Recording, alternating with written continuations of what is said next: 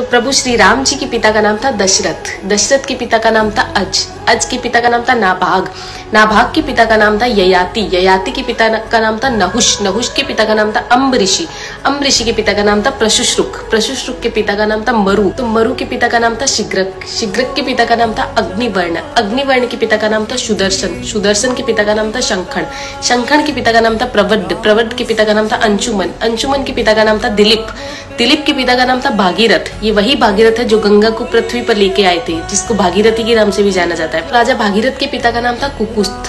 कुकुस्त के पिता का नाम था रघु। ये रघु वही राजा है जिनके नाम पर ये रघुकुल पड़ा, क्योंकि ये बहुत ही पराक्रमी और तेजस्वी राजा थे। आज भी कहा जाता है कि रघुकुल रीत सदा चली आई, प्राण जाए पर वचन न जाए तो राजा रघु के पिता का नाम था राजा असमंज। राजा असमंज के पिता का नाम था राजा सगर। राजा सगर के पिता का नाम था राजा असित राजा असित के पिता का नाम था राजा भरत राजा भरत के पिता का नाम था ध्रुव संधि राजा ध्रुव संधि के पिता का नाम था राजा सुसंधि राजा सुसंधि के पिता का नाम था राजा मानधाता मानधाता के पिता का नाम था युवानाष्ट्री युवानाष्ट्र के पिता का नाम था दुंदुमार दुंदुमार के पिता का नाम था त्रिशंकु राजा त्रिशंकु के पिता का नाम था राजा पृथु राजा पृथु के पिता का नाम था अंडरण्य अंडरण्य के पिता का नाम था राजा बाण राजा बाण के पिता का नाम था विवस्वान राजा विवस्वान के पिता का नाम था राजा मनु राजा मनु के पिता का नाम था इक्ष्वाकु इक्ष्वाकु के पिता का नाम था राजा कुक्षी।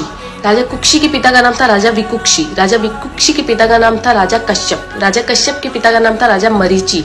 राजा मरीची के पिता का नाम था ब्रह्मा जी तो इस हिसाब से हमारे प्रभु श्री राम जी ब्रह्मा जी की उनचालीसवीं पीढ़ी है थर्टी नाइन्थ तो ज़्यादा से ज़्यादा ये वीडियो शेयर कीजिए, क्योंकि आने वाला इतिहास ये नहीं बोलना चाहिए कि सनातनियों को मुगलों का इतिहास तो पता था और खुद का इतिहास नहीं पता था। तो ज़्यादा से ज़्यादा इस वीडियो को शेयर कीजिए। जय श्री राम।